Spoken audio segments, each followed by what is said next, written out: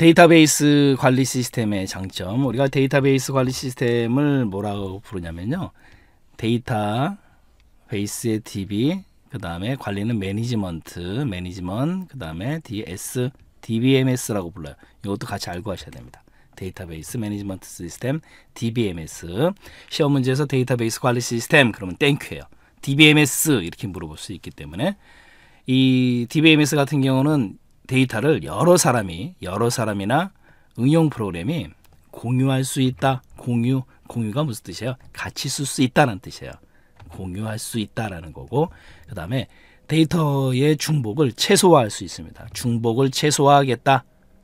데이터의 중복을 최소화. 그 다음에 또 하나 일관성, 데이터의 일관성, 무결성을 유지할 수 있다. 이렇기 때문에 무결성이라는 건 결점이 없다는 뜻이거든요. 그래서 일관성과 무결성을 유지할 수 있기 때문에 우리가 뭘 사용한다? 데이터베이스 management 시스템을 사용한다 그거예요. 그래서 공유, 중복 최소화, 일관성, 무결성 이렇게 머릿속에 쏙 넣어두시면 돼요.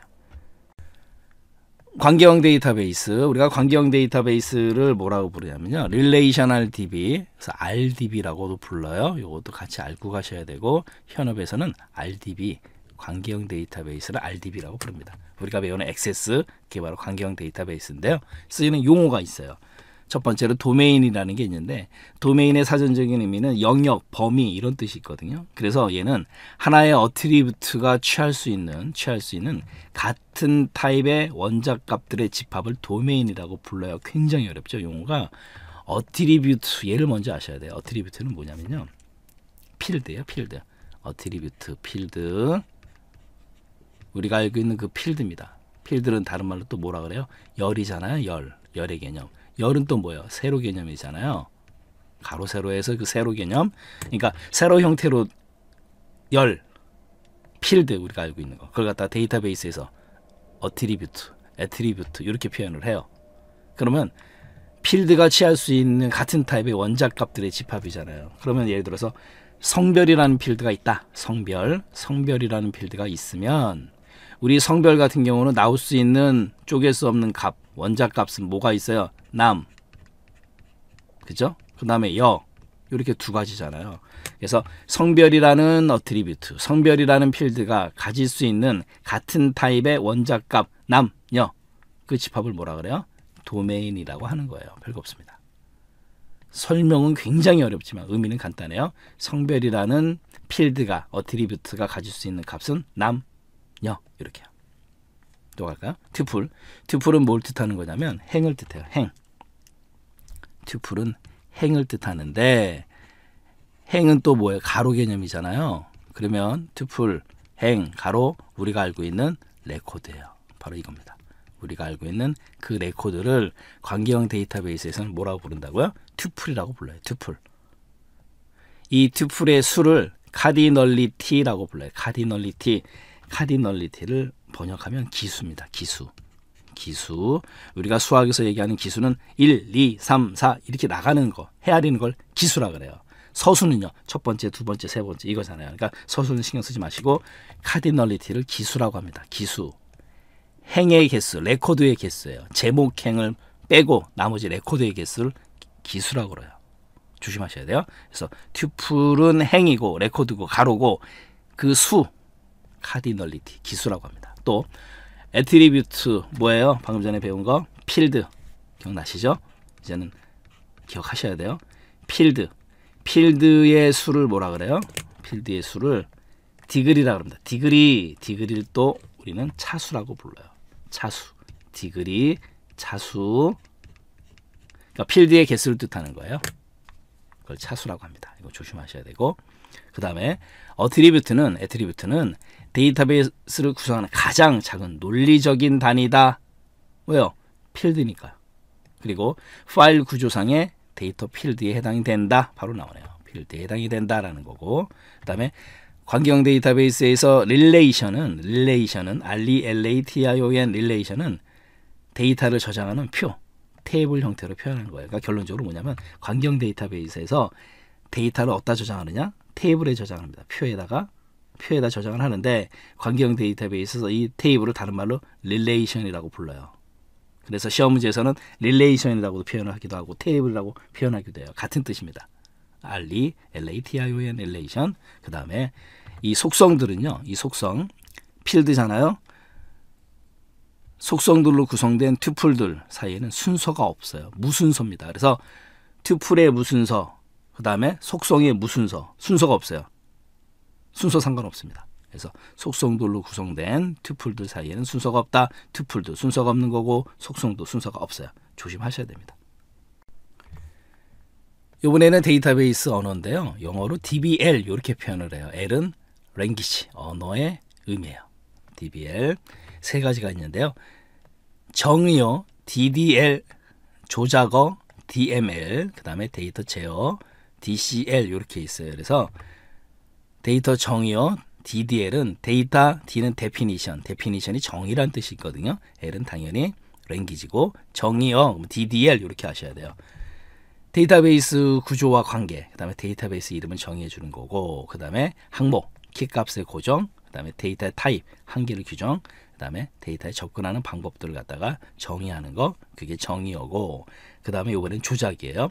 조작이라는 거는 DML, manipulation, manipulation이 조작이라는 뜻이 있거든요. 그래서 얘는 삽입, 삭제, 검색, 변경, 연산 이런 처리 이게 바로 조작이에요. 그러니까 결론적으로 실질적인 운영 및 조작 그걸 갖다 조작 데이터 조작어 DML이 하는 거고 그 다음에 데이터 제어어 C가 바로 컨트롤을 뜻하는 거예요. 그래서 데이터의 보안, 무결, 회복, recovery, 그다음에 병행 수행 등을 갖다가 제어해 준다. 제어니까 당연히 제어한다라는 거. 여기도 마찬가지로 데이터 제어를 갖다가 정의 및 기술한다. 그게 뭐다? 데이터 제어어예요. 그래서 데이터베이스 언어 세 가지 정의어 DDL, 조작어 DML, 제어 DCL 이렇게 세 가지 반드시 머릿속에 넣어두셔야 됩니다. 정규화라는 거 normalization 제1 정규형서부터 해서 정규화서부터 제5까지 있고요. 3하고 4 사이에 BCNF라 그래가지고 엄격한 정규형 3차 정규형이 있어요. 가겠습니다. 정규화는 테이블 속성들 사이에 종속성을 최대한 배제하는 과정이다. 속성들 간에 그 다음에 이 정규화를 통해서 데이터 삽입 시 테이블 재구성의 필요성을 갖다가 줄일 수 있다. 그러니까 문제가 생겼을 때 테이블을 다시 만들어야 되는 그 필요성을 줄인다라는 거고 이 정규화 과정을 통해서 삽입하거나 삭제하거나 갱신할 때 이상한 현상이 발생할 수 있는 걸 막겠다. 이상 발생을 방지한다. 이상한 현상을 우리가 어너말리라고 하는데요. 이런 것들을 막아주는 작업이 바로 정규화 작업이에요. 그리고 방금 전에 말씀드린 대로 데이터를 입력 또는 삭제 시 이상한 현상이 일어나지 않도록 데이터베이스를 설계하는 기술 그걸 정규화라고 한다라는 거 아노말리 이상한 현상 그 다음에 대체로 더 작은 필드를 갖는 테이블로 분해하는 과정 쪼개는 과정 그게 바로 정규화고 목적은 데이터의 중복을 최소화하기 위한 작업이다 그리고 추가 갱신, 삭제, 여기 이상한 현상, 이상한 그 anomaly, 이상한 현상이 바로 요 세 가지예요. insert, 업데이트, delete, 삭제 이런 것들을 갖다 발생하지 않도록 하기 위한 거다. 이게 뭐다? 바로 정규화다라는 거예요. 이번에는 이것도 알아두세요. 같이 알고 가셔야 되는 내용. 데이터베이스 관리 시스템의 장점. 데이터의 물리적이고 논리적인 독립성을 유지시켜 준다라는 거고, 그 다음에 내용을 즉시 처리해요. 그러니까 실시간적, real time으로 액세스 접근해서 처리한다라는 거.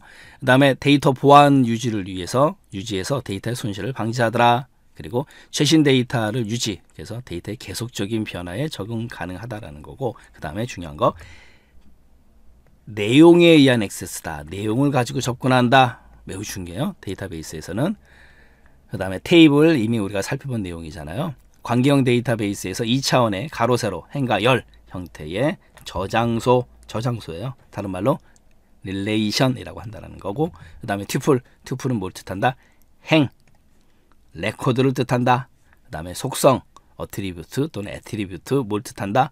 열 필드와 같은 의미다. 그 다음에 속성은 널 비어 있을 수 있다. 널 값을 가질 수 있다.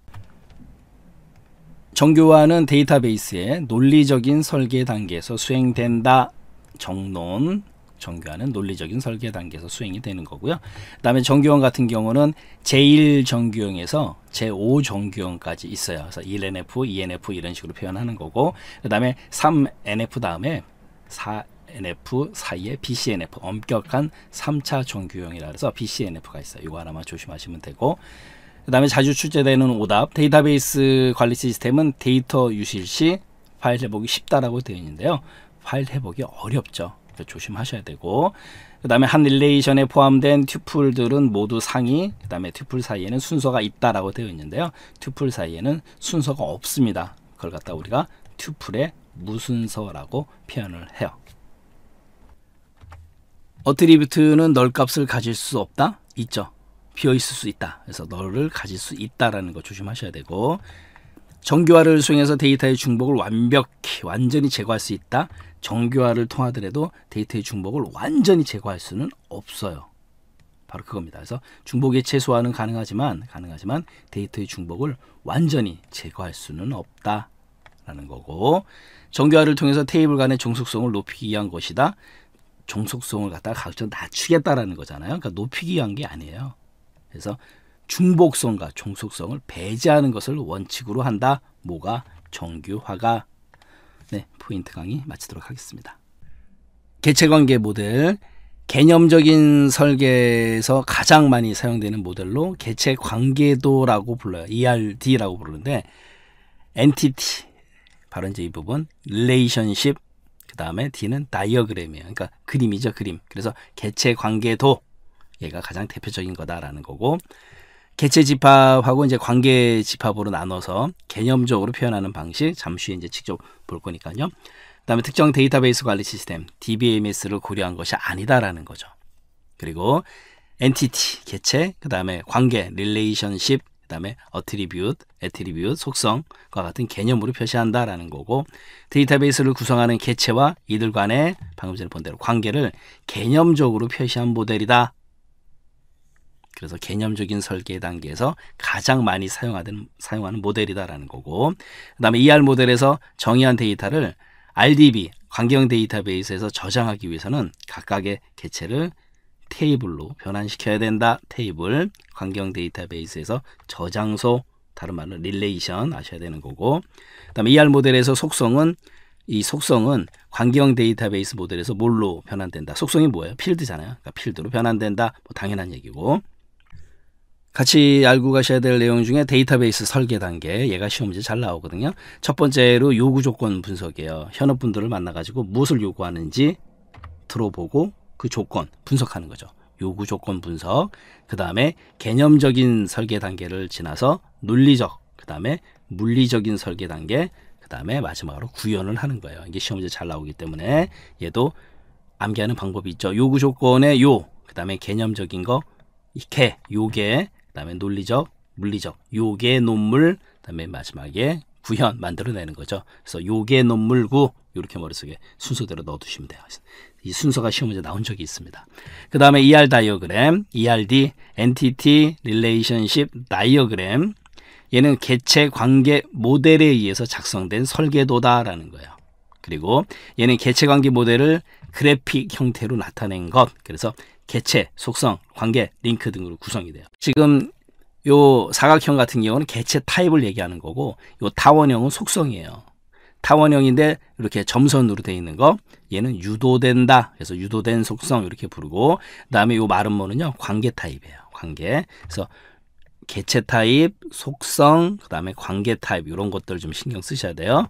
개체, 그다음에 속성, 그다음에 관계 타입, 그다음에 네모가 두 개 있는 거 의존 개체 타입이고요. 그 다음에 요 속성이 이렇게 밑줄이 그어져 있는 거 얘는 기본키예요. 기본키 속성을 뜻한다라는 거 이거 조심하셔야 되고 그 다음에 줄은요 링크 연결이에요. 그 다음에 마름모가 두 개 있는 건 관계 타입 식별입니다. 그러면 우리 교재에는 없지만 예를 가지고 기본서에 있는 예를 가지고 다시 한번 좀 설명드리도록 하겠습니다. 예를 들어서 이런 거예요. ERD를 언제 쓰는 거냐? 이때 쓰는 거예요. 우리가 학생이라는 개체는 학생이라는 개체는 개체는 이렇게 표현하잖아요. 사각형으로. 그러면 이 사각형을 봤을 때 아, 학생이라는 개체구나 이렇게 알아라라는 거예요. 이렇게 설계한다는 얘기죠. 왜냐하면 이렇게 글로 텍스트로 센텐스로 설계하기가 힘드니까 이렇게 그림을 가지고 한다. 그게 ER 다이어그램이에요. 별거 없습니다. 그 다음에 학생이라는 개체는 학번, 성명, 학과명의 속성을 갖는다. 속성은 아까 타원으로 그린다 그랬잖아요. 그러니까 학번, 성명, 학과명의 타원, 그러니까 속성을 가진다. 바로 그거예요. 이렇게 속성은 타원을 가지고 그리겠다라는 거예요. 별거 없습니다. 개체는요. 이렇게 사각형을 그리겠다. 사각형을 가지고 그리겠다라는 거고 속성을 가지고 학번은 기본키 속성. 아까 기본키 같은 경우는 타원에다가 밑줄 근다 그랬잖아요. 여기요. 요거요. 요 밑줄 거줬잖아요. 바로 그겁니다. 아하. 학번이 기본키구나. 이렇게 할수 있다는 얘기예요. 기본키 속성을 갖는다. 이거를 ER 다이어그램으로 표현하라. 이렇게 표현하는 거예요. 별거 없습니다. 또 갈까요? 학생과 과목은 학생과 과목이라는 개체는 학생, 과목이라는 개체는 그죠? 구성된 두 개체는 1대 n, 1대 다, 여기서 n은 다, 다요, 다. 1대 다의 수강 관계, 관계는 뭘로 표현한다? 마름모로 표현한다 그랬잖아요. 그러니까 이렇게 마름모로 표현하고 수강, 그리고 요 줄, 링크, 연결 개념이잖아요. 그 다음에 1대 몇이요? n, 1대 다. 그래서 수강, 이렇게 마름모, 그 다음에 학생, 과목, 개체. 이를 ER 다이어그램으로 표현해보자. 그럼 이렇게 표현하면 되는 거예요. 그래서 이걸 봤을 때, ERD를 봤을 때, 아, 학생이라는 개체와 과목이라는 개체는 수강이라는 관계를 갖고 있는데, 1대 N, 1대 다구나. 이렇게 번역이 가능해야 되고, 또 이 센텐스를 보고 이렇게 그려낼 줄 알아야 된다는 거예요. 이번에는 자주 출제되는 오답. 개체는 가상의 객체나 개념을 의미하고 속성은 개체를 묘사하는 데 사용되는 특성을, 특성을 의미한다 이렇게 되어 있는데요. 개체라는 건 뭐냐면 다른 것과 구분되는 개체, 단독으로 존재하는 실세계의 개체, 개념을 의미하는 거예요. 그래서 여기서 조심하셔야 될 건 가상이라고 하면 안 되는 거죠. 존재하는, 존재하는 실세계의 개체나 개념을 뜻하는 거다라는 거 조심하셔야 되고 개체는 그 다음에 개체 관계에 대해서 타원은 타원은 개체 타입을 나타내고 사각형은 속성을 의미한다. 반대잖아요. 타원이 속성이고 타원 타원이 속성이고 사각형은 개체를 뜻한다. 타원은 속성, 사각형은 개체. 네, 포인트 강의 마치도록 하겠습니다. XS의 개체 쿼리라는 거는 폼이나 보고서에 원본 데이터로 사용할 수가 있어요. 이 쿼리라는 것도 결론적으로 테이블에서 질문에 의해서 파생된 테이블이기 때문에 또 다른 테이블이기 때문에 당연히 폼이나 보고서의 원본 데이터로 사용 가능해요. 그 다음에 이 폼은 테이블이나 쿼리 데이터의 데이터를 입출력 화면으로 작성하는 개념이죠. 폼. 그래서 입력 폼, 출력 폼. 그리고 이 테이블은 데이터를 저장하는 장소죠. 데이터베이스에서. 그 다음에 레코드와 필드로 구성이 된다. 테이블, relation, 레코드와 필드로 구성. 조심하셔야 되고 그 다음에 Microsoft Access에서 사용하는 이 여섯 가지 개체가 있는데 첫 번째로 테이블 이미 우리가 테이블 살펴봤잖아요 저장소 그래서 데이터를 저장 관리하는 공간이다라는 거고 그 다음에 쿼리 QUERY 질문하는 거죠 질의. 테이블 안에 데이터 조건을 지정을 해줘요. 그래서 원하는 자료를 찾아서 추출한 거. 그게 바로 쿼리예요. 연관된 여러 개의 테이블을 연결해서 새로운 결과를 갖다 뽑아낼 수 있다라는 거고 방금 전에 본 대로 쿼리는 폼이나 보고서에서 원본 데이터로 사용할 수 있다 없다. 있다 방금 전에 살펴본 센텐스잖아요. 조심하셔야 되고 테이블 쿼리. 그 다음에 테이블이나 쿼리를 화면으로 보여주는 개념. 그게 바로 폼이에요 폼. 폼은 화면을 의미한다. 이거 조심하셔야 되고 그래서 말씀드린 대로 입력 출력. 입력 폼 출력 폼. 그다음 이 폼을 통해서 데이터를 입력한다거나 수정, 삭제, 검색 작업이 가능하죠. 그리고 시각적인 여러 가지 모양을 줄 수 있다라는 거고 그다음에 우리가 입력, 그다음에 수정 보여주는 거에 제한을 줄 수 있잖아요. 그러니까 보안성에서도 유리하다라는 거예요. 그래서 시각적인 여러 모양 효과를 주기 위해서 컨트롤을 사용한다. 컨트롤이라는 거를 사용을 해서 작성을 해요. 폼이라는 거는. 그다음에 보고서 같은 개념은 뭐냐면 아까 폼은, 폼은 뭘로 나간다? 화면으로 나간다 그랬잖아요. 보고서는 프린터로 나가는 거예요. 결과를 인쇄해 주는 겁니다. 보고서는 그래서 데이터의 내용, 쿼리의 결과 등을 갖다가 프린터로 출력하는 것. 그래서 각종 업무 양식, 그다음에 레이블, 우편 엽서 이런 것들이 지원이 돼요. 그게 바로 보고서고 그래서 테이블 쿼리 폼 보고서 그다음에 올해는 이제 매크로인데요. 우리가 이 매크로는 Excel에서의 매크로하고는 달라요. Excel은 녹화의 개념이잖아요. 얘는 함수를 사용하는 거예요. 기본적인 개념은 같아요. 많은 양의 데이터를 처리, 반복적인 작업을 자동화한다. 이거는 엑셀의 매크로와 같은 개념인데 얘는 엑셀처럼 녹화의 개념이 아니고 매크로 함수라는 걸 이용해서 매크로를 작성해요. 액세스는요. 이것만 조심하시면 됩니다. 아하, 액세스의 매크로는 매크로 함수를 이용하는 거구나 이렇게요. 그 다음에 모듈이라는 거, 모듈, 모듈은 프로그래밍, 프로그램을 뜻한다라는 거고 모듈은 모듈, 프로그램을 직접 만들 수 있는 개체, Excel처럼 Visual Basic for Application 코드가 이용이 돼요. 그리고 얘는 매크로 함수를 가지고 매크로를 작성하는데 그 처리 한계를 갖다 해결해 주는 거 당연히 모듈 프로그램을 직접 할 수 있기 때문에 가능한 거다라는 거죠. Access에서 파일의 암호를 설정하는 방법이 시험 문제 나왔는데요. 얘는 간단합니다.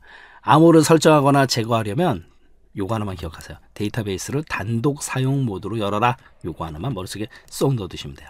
데이터베이스에서 액세스에서는 파일을 설정할 때 단독 사용 모드로 열어야지만 암호를 갖다 설정할 수가 있습니다. 파일 탭에 열기 가서 이 열기 대화 상자에서 바로 이제 이 부분이요. 열기에서 단독으로 열기, 단독 사용 모드를 선택해야지만 바로 바로 이 부분 단독으로 열기를 선택하라. 그래야지만 암호를 설정하거나 제거할 수가 있어요. 파일의 정보의 데이터베이스 암호 설정을 클릭한 다음에 암호를 설정한다. 바로 이제 이 부분이죠. 정보에서 데이터베이스 암호 설정. 같이 알고 가셔야 되는 내용 살펴보도록 하겠습니다.